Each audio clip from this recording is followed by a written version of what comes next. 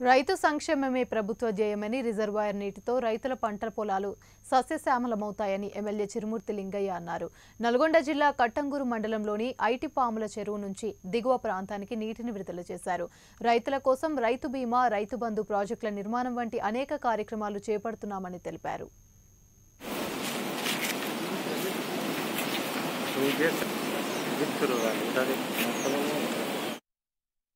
నుండి